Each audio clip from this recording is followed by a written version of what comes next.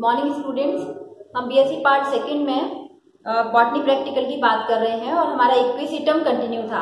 तो इक्विसिटम में कल हमने आपको स्टेम का स्टेम में जो इंटरनोड की स्ट्रक्चर है टीएस है, वो हमने आपको समझाई थी कि किस तरीके से स्टेम को यदि हम काटते हैं, उसका ट्रांसफ़र सेक्शन तो उसको कैसे दिखाई देता है। आज हम उसकी ले रहे हैं रिप्रोडक्टिव स्ट्रक्चर यानी कौन कौन के बारे में पढ़ेंगे, जिस जो कि एक टर्मिनल एंड पर जो लगा रहता है, हमने जब आपको एक्सटर्नल स्ट्रक्चर बताया था इक्विसिटम का, तब उसमें समझाया था कि इक्विसिटम के ब्रांचेस पर राइजोम पहले तो नीचे राइजोम होता है, जो कि लॉन्गिट्यूडनली सॉरी हॉरिजेंटली बेस्ड रहता है प्लेस्ड रहता है, और उसके ऊपर से फिर क्या निकलती है? एरियल ब्रांचेस निकलती हैं। एरियल ब्रांचेस में भी कुछ फर्टाइल ब्रांचेस होती हैं कुछ स्टेराइड ब्रांचेस होती हैं। तो फर्टाइल ब्रांच के टर्मिनल एंड पर हमने बताया था क्या पाया जाता है? कोन पाया जाता है। ये कोन क्या है?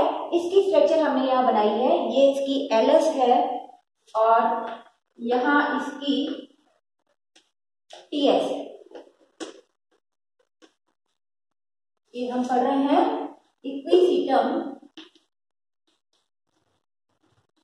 कोन ठीक है? तो इस कोन में हम, हमने आपको बताया कि जो फर्टाइल स्ट्रक्चर है, ये कोन है जो कि टर्मिनल ब्रांच पर पाया जाता है। हम ये कोन जब भी हमें प्रैक्टिकल करना होता है तो इस कोन का हम भी काटते हैं और भी काटते हैं। तो ये हमने एलएस का सेक्शन लिया है। वैसे हम थोड़ा सा कोन का बताते हैं आपको क्या होता है? जैसे आपने सिलेजिनेला में पढ़ा था कि स्पोरेंजिया पाई जाती हैं, क्योंकि स्पोरोफाइट प्लांट मेन होता है और मेन प्लांट पर क्या पाए जाते हैं? स्पोरेंजिया पाई जाएँगी। स्पोरेंजिया में बनेंगे स्पोर्स यानी जो मुख्य पादप है वो रूट स्टैम लीव्स में डिफ्रेंशिएटेड होता है स्पोरोफाइट होता है और उस पर किसी व्य, कोई व्यवस्था होती है जैसे कोन हो या स्ट्रॉबिलस हो जैसे सिलेजिनेला में स्ट्रॉबिलस था यहाँ पर हम इसको कोन कहेंगे। कोन के अंदर स्पोरेंजिया जो है वो लगी हुई रहेंगी। स्पोरेंजिया में मियोसिस के बाद स्पोर्स बनते हैं और फिर स्पोर्स जो है वो गैमेटोफाइट को जन्म देते हैं। तो क्योंकि यहाँ हम कोन पढ़ रहे हैं, इस कोन में ये जब हमने सिलेजिनेला पढ़ा था कि स्ट्रॉबिलस होती है और sporangia mega sporangia micro sporangia कुछ ऐसी पत्तियों पर उपस्थित होती हैं, जिन्हें कहते हैं माइक्रोस्पोरोफिल या मेगा स्पोरोफिल यहाँ पर ये स्पोरेंजिया जो है, वो स्पोरेंजिया फोर पर व्यवस्थित होती हैं। और यदि हम एक स्पोरेंजियो फोर देखें, स्पोरेंजियो फोर मिलकर सक्सेसिव कहना चाहिए रोल्स में, यानी चक्रों में व्यवस्थित होकर एक पूरी संगठित रचना बनाते हैं, जिसे कहते हैं कोन इसको हमने एलएस बनाया। यानी इस कोन में बहुत सारे स्पोरेंजियोफोर जो है, वो चक्रिक क्रम में व्यवस्थित होते हैं। एक स्पोरेंजियोफोर देखें तो ये स्ट्रक्चर है, ये एक डिस्क लाइक स्ट्रक्चर है, जिसको, जो स्टॉक्ड है।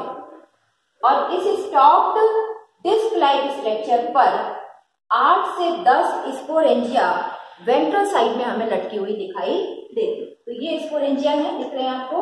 स्पोरेंजिया को ये हमने खोल के जो डाइसेंस हो गया है, उस वक्त दिखाया जब इसमें से स्पोर्स निकल रहे हैं। तो ये क्या है? स्पोरेंजियो फोर। वेंट्रल साइड से यानी निचली साइड से हमें दिखाई देता है एक स्पोरेंजियो तो ये एक डिस्क लाइक स्ट्रक्चर है, जिसमें वेंट्रल साइड पर आठ से दस स्पोरेंजिया जो है वो लटकी हुई होती अब ये इस तरीके के स्पोरेंजियोफोर जो है, वो यहाँ हम देखेंगे किस तरीके से मिलकर कोन बनाते हैं। तो ये चक्र क्रम में व्यवस्थित होते हैं। यदि इस कोन को, ये कोन हमें इस तरीके का दिखाई देता है, यदि हम इसको यहाँ से काटेंगे तो इसका स्ट्रक्चर इस प्रकार का दिखाई देगा, और यदि हम इसको यू काटेंगे तो इसका स्ट्रक्चर इस तरीके से दिखाई तो ये स्पोरेंजियोफोर ये यहाँ कोन के अंदर देखिए आप कोन में यदि हम इसको एलएस काटते हैं तो कोन एक्सिस पर, ये है कोन एक्सिस जैसे स्टेम एक्सिस होती है, स्टेम के एरियल ब्रांच के टर्मिनल एंड पर ये लगा हुआ है तो लगभग समझ लीजिए उस टर्मिनल ब्रांच का ही एक्सिस जो है वो कोन एक्सिस कहलाएगी आगे की तरफ़, जो कोन बनाती है। तो कोन एक्सिस ये हो गई, इस कोन एक्सिस पर ये स्पोरेंजियो फोर है, ये देखिए पैल्टेड डिस्क है ये अंदर स्पोरेंजियो फोर के अंदर पैल्टेड डिस्क और यहाँ स्पोरेंजिया वेंट्रल साइड पर लगी। यहाँ हम यही दर्शा रहे हैं, ये डिस्क है वेंट्रल साइड पर स्पोरेंजिया लगी। लेकिन एलएस में हमें एक एक स्पोरेंजियोफोर में केवल दो दो स्पोरेंजिया ही दिखाई देंगे एलएस और टीएस यदि हम फुल देखते हैं इसको तो एक स्पोरेंजियम फोर में आठ से दस तक आठ स्पोरेंजिया पाई जाती है। ठीक है? लेकिन हमें सेक्शन कटिंग में कितनी दिखाई देंगी? केवल दो। तो ये पेल्टेड डिस्क है, ये एक स्पोरेंजियोफोर है, एक ये पेल्टेड डिस्क और इसके अंदर ये हो गई स्पोरेंजिया स्पोरेंजिया के अंदर ये पाए जा रहे हैं स्पोर्स ठीक है? अब ये स्पोरेंजियोफोर जो है वो किस तरीके का है? पूरा एक कोन बना लेता है स्पोरेंजियोफोर के पूरी बहुत सारे स्पोरेंजियोफोर मिलकर एक कोन बना लेता तो इनमें क्या क्या मेन चीज़ है? ये पेल्टेड डिस्क जो कि इस तरीके की है और यदि हम सेक्शन कटिंग करते हैं तो दो दो स्पोरेंजिया इसमें हमें दिखाई देगी। होती कितनी है? आठ से दस। और सबसे इंपॉर्टेंट बात ये होती है स्टॉक ये जो पेल्टेड डिस्क है, ये स्टॉक्ड है, हमको दिखाई नहीं दे रहा है, लेकिन ये स्टॉक है सेक्शन कटिंग में हमें दिखाई नहीं दे यदि इस स्पोरेंजिया की बात करें, देखिए तो स्पोरेंजिया एक एक के अंदर हमें दो दो दिखाई दे रही हैं। वैसे आठ या दस हैं, आठ से दस हैं। इन स्पोरेंजिया के अंदर समान प्रकार के स्पोर्स बनते हैं। यानी ये जो इक्विसिटम है, वो कैसा है? Homosporous. कैसा है? होमोस्पोरस होमोस्पोरस का मतलब है समान प्रकार के स्पोर्स इसके अंदर होते हैं। यानी माइक्रोस्पोर और मेगा स्पोर जैसी स्ट्रक्चर नहीं होती है, जो कि सिलेजिनला के अंदर पाई जाती है। ये जो हम डिस्क की बात करें तो वैसे ऐसे दिखाई दे रही है, लेकिन ये पॉलीगोनल होती है। तो यदि हम इस चित्र को यहाँ इस तरीके से बनाए तो ये हमें ऐसे दिखाई देते हैं। पूरा कोन एक्सटर्नली हमें इस तरीके का दिखाई देता है, जिस पर ये पॉलीगोनल स्पोरेंजियोफोर एक चक्री क्रम में, यानी रोल्स में लगे हुए दिखाई देते हैं। देख रहे हैं आप अलग अलग से टुकड़े से दिखाई देते हैं। ये पॉलीगोनल स्ट्रक्चर यानी जो कोन है, उसमें स्पोरेंजियोफोर पॉली, पॉलीगोनल शेप के दिखाई देते तो ये हमें स्पोरेंजियोफोर की स्ट्रक्चर हो गई एलएस के अंदर। यदि हम टीएस में देखें तो टीएस में भी यानी हम इस सेक्शन को यदि स्पोन को यदि यहाँ से काटें तो भी हमें इसकी ये पेल्टेड डिस्क दिखाई देगी। प्रत्येक स्पोरेंजियोफोर की, और ये हो गई स्पोरेंजिया और इसमें ये हो गए स्पोर्स और ये क्या है इसकी एक्सिस तो बिल्कुल एलएस में जो हमें दिखाई दे रहा है, वही हमें टीएस में भी दिखाई देगा। तो बहुत सारे स्पोरेंजियोफोर मिलकर क्या बना रहे हैं? पॉलीगोनल स्पोरेंजियोफोर मिलकर एक कोन बना रहे हैं, जो एलएस में हमें इस तरीके दिखाई देते हैं और टीएस में इस तरीके से दिखाई देते हैं। यदि एक स्पोर की स्ट्रक्चर देखें तो स्पोर इसका बहुत सिंपल होता है।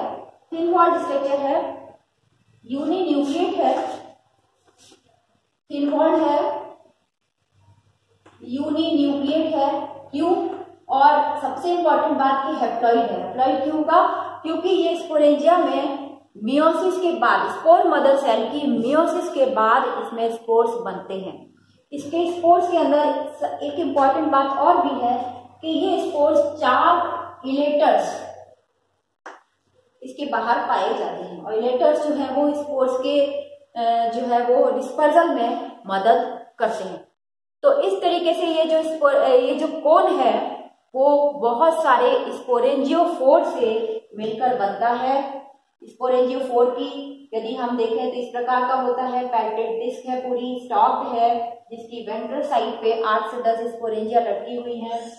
यदि इसका एलएस देखें तो प्रत्येक स्पोरेंजियोफोर हमें केवल दोनों साइड पर दिखेगा। क्यों? क्योंकि इसका हमने सेक्शन लिया है। पूरा चक्री क्रम में हमें नहीं दिखाई देगा। तो एक एक पैकेट डिस्क के साथ साथ हमें दो दो स्पोरेंजिया दिखाई देंगे। सिर्फ़ इतना सही है। और दूसरी बात, ये कोन एक्सिस जो है आपको कंप्लीट अंदर से पूरी सॉलिड दिखाई देती है। सॉलिड होती है खोखली नहीं होती है। और यदि स्पोर्स देखें तो एक एक स्पोर ये होमोस्पोरस है, एक एक स्पोर की structure simple uninucleate haploid spore है, जो कि बाहर थिन वॉल्ड कहना चाहिए थिन वॉल से घिरा हुआ है और इसके चारों तरफ़ रोल्ड बिल्कुल स्पाइरल क्रम में लिपटे हुए चार इलेटर्स पाए जाते हैं, जो इसके डिस्पर्सल में मदद करते हैं।